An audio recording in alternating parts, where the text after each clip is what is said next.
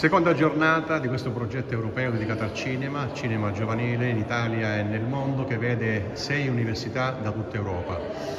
Vetro di croce, tu fai un'analisi sugli spazi, così, sulle, sulle assenze, sulle geometrie e quindi volevo sapere qualcosa di più.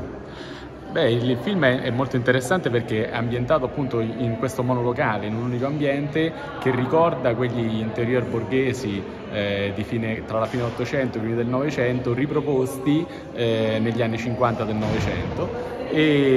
Però riproposti con una nuova chiave di lettura, con, un nuovo, con una nuova funzione messa dentro che è quella ehm, che è tutta rivolta all'individuo, è scevra del rapporto con gli altri, è priva eh, del collettivo, della dimensione pubblica e quindi somiglia moltissimo a quelle gabbie eh, che sono appunto eh, individuali e che eh, vanno come dire, a configurarsi sempre di più eh, nelle nuove città eh, contemporanee e nel modello ideale di città contemporanea eh, di cui usufruiamo oggi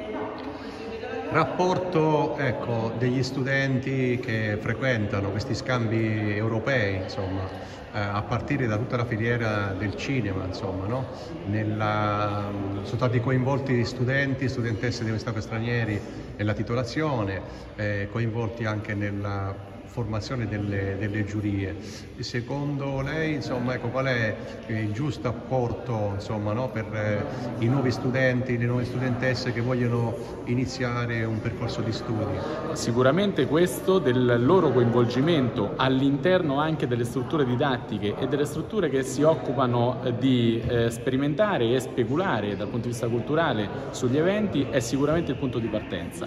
Gli studenti quando vengono coinvolti in questo tipo di esperienza esperienze anche in prima persona non solo imparano ad applicare eh, le cose che, che gli stiamo insegnando, ma eh, apportano un contributo sicuramente fresco, sicuramente nuovo.